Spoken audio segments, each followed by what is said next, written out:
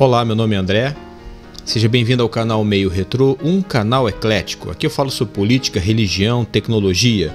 E eu vou dar continuidade aqui ao vídeo número 3 de particionamento de HD. Vou mostrar agora utilizando o meu pendrive, o programa EA, é, EASIUS ou, ou EASEUS, tanto faz, EASI US, deve ser US, deve ser Estados Unidos, não sei. EASIUS.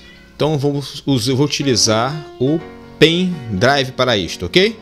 Bom, vamos lá. Bom, já estamos aqui com o programa né, EASEUS EASIUS aberto. Né? E aqui embaixo já está o meu pendrive, ok? O pendrive é muito interessante, tá?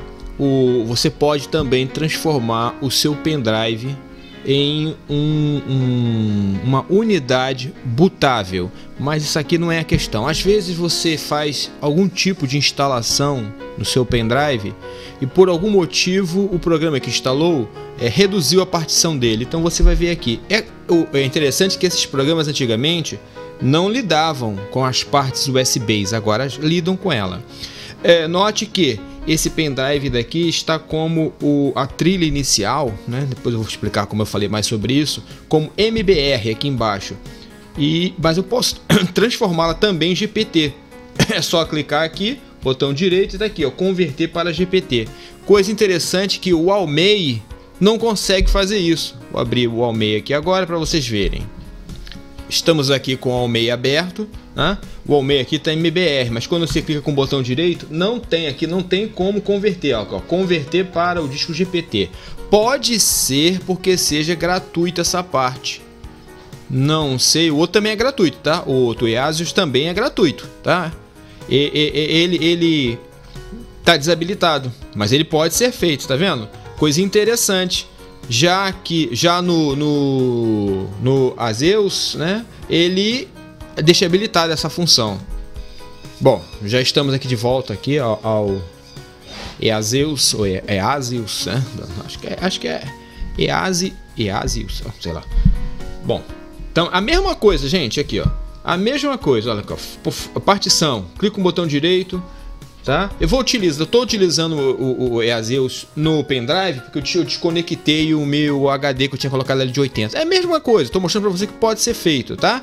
Então, às vezes, eu vou, por exemplo, vou deletar aqui, ó, cliquei na unidade do, do, meu, di, do meu disco básico, ó, o nome dele é esse aqui, por isso que eu me guio pelo nome, pelo tamanho e pelo nome. U, é, H, é, U, U, IF, U, U, I. Clico com o botão direito, Excluir, deixa eu ver, excluir aqui. Excluir partição. Pronto, vou excluir partição. Ok. Ele excluiu a partição. Ok? Agora eu clico com o botão direito e vou criar a partição. Ó.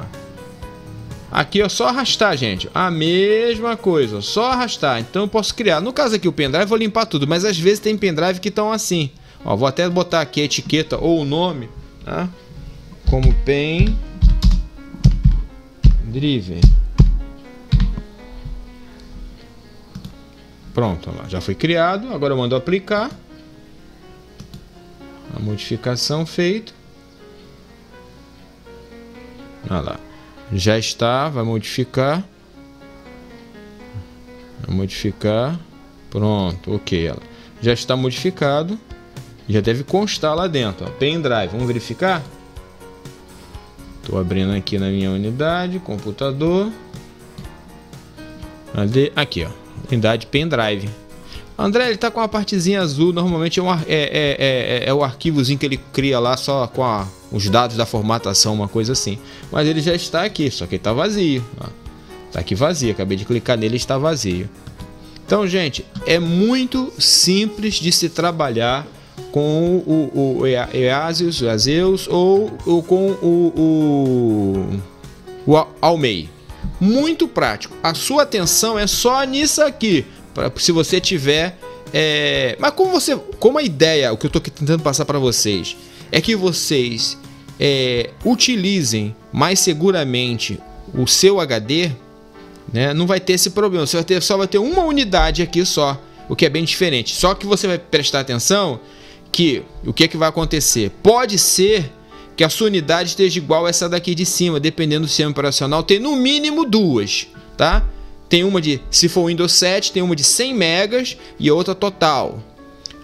Pode ser que o seu HD também já esteja particionado de fábrica com uma parte é, com uma parte do sistema operacional de cópia.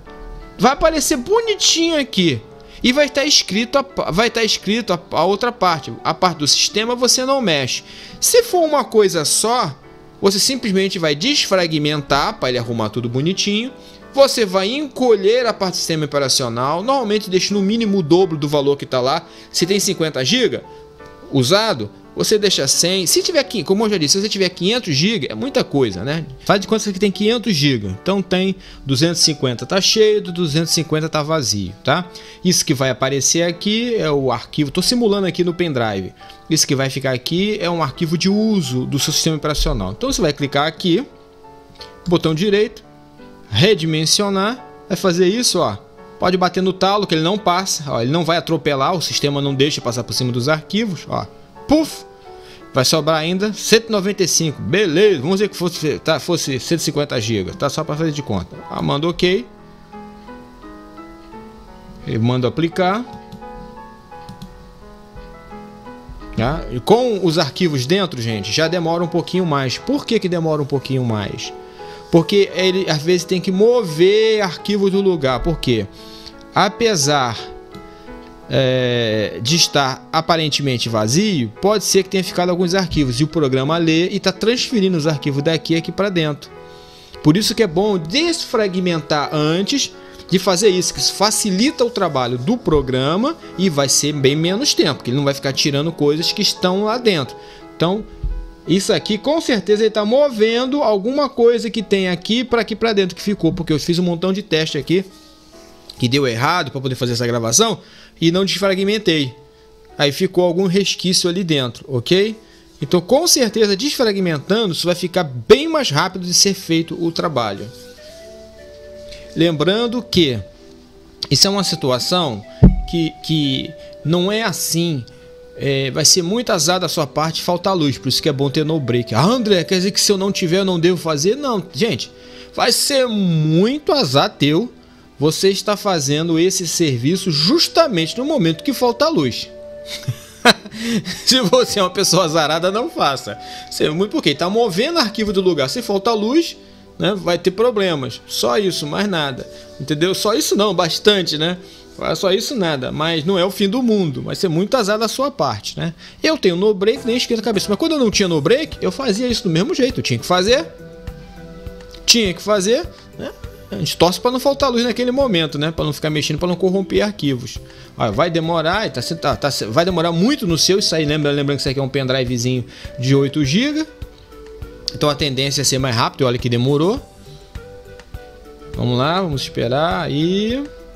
Tadã, pronto. Aqui. Ele acabou de liberar esse espaço. Agora eu clico com o botão direito, mando criar uma, sim, ok. Boto o nome de baú, por exemplo baú, né? Ou, ou, meus arquivos, tanto faz. Ele vai marcar, vou dar OK. Agora vai ser mais, deveria ser mais rápido. OK. Mas por que não foi? Ah, tô fazendo aqui ainda. OK. Vai, vai, vai dar uma letra para ele, olha lá. Letra G. Vamos ver lá no Windows Explorer. No computador. Aqui, ó. O baú. Ah, eu fico com dois, dois, dois nomes baú.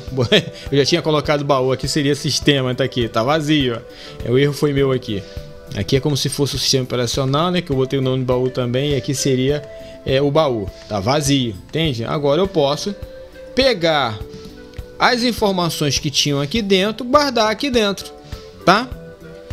Gente, espero que você tenha entendido. É de, é, tem muitas coisas aqui. Estou tentando ser bem, bem, bem, bem simples para você entender, tá? Qual é a função do particionamento? É essa. A importância de você deixar separado o sistema operacional dos teus arquivos de vídeo, de texto, de imagem. Fica só para o sistema operacional. Quando você tem que formatar, você formata isso, ok? É, paro por aqui. Esse aqui é, é, é o Iasius, o Iaseus e, e o é, Almei. São dois programas excelentes para você trabalhar. Pode ter até os dois, se você se um sobrar algum espaço, você conserta no outro. É muito, eu acho simples. Tem que só ter atenção aqui para você, como eu aqui, não fazer bobagem de apagar aqui por acidente aqui o meu o meu outro HD, porque é bem distinto. Mas às vezes a gente com pressa não presta atenção, né? No que está acontecendo. Então ele sempre pergunta antes de realizar as modificações. Ou se você, caramba, modifiquei no lugar errado, não vi. Você cancela e vai no lugar certo. Bom, gente, como vocês viram aí, tá? É, tenho agora, ficou dividido os arquivos e no próximo vídeo eu vou ensinar como você transferir, né? André, não é só pegar e arrastar ou pegar e cortar? Não, porque, eu vou, porque normalmente meus documentos, suas fotos, vídeos, fica tudo dentro da pasta meus documentos. Então é muito melhor você ou você recortar ou mover. Eu vou procurar como é que é o mover no Windows 10. Eu não sei. Eu sabia no, no XP, XP só clicava em meus documentos, mover, movia, acabou. Mas esse aqui parece que vou procurar saber como é que é o mover. Aí vou ensinar no próximo vídeo para vocês, tá bom? Tchau, tchau, obrigado pela sua atenção.